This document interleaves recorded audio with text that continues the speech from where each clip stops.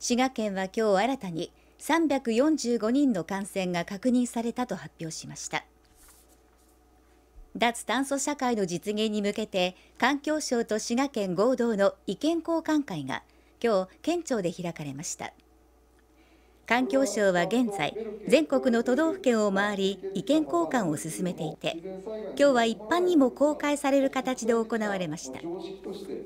こんなにたくさんあの一般の方まで参加していただいたっていうのは初めてでございましてこれは何よりもこの滋賀県の地域の持つ環境の力環境に対する意識の高さを表していると。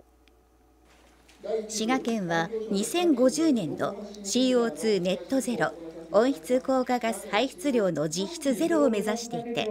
今年度関連予算として64億3000万円を計上しています。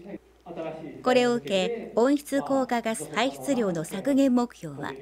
2030年の中期目標を従来の23%削減から50%削減へと高く設定しました。環境省の担当者からは再生可能エネルギー導入により経済との両立発展に成功した全国的な事例も紹介され何か滋賀で実践できないかと参加者らも熱心に聞き入っていました。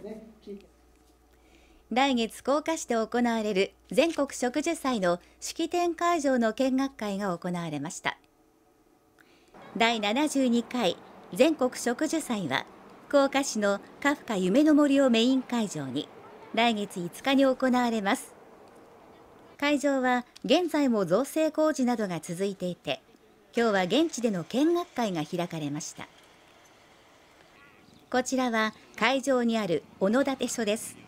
本来は式典に出席する天皇皇后両陛下が着座される場所ですが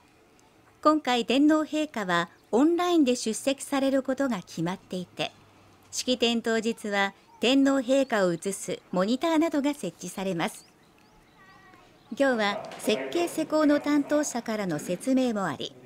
琵琶湖の水面や吉をイメージしてデザインされ滋賀県産の杉やヒノキが使われていることなど滋賀で開催される植樹祭にふさわしいものを目指した経緯が語られました。開催まであと1ヶ月を切った全国植樹祭。当日は全国からおよそ1000人の林業関係者も集まる予定となっています。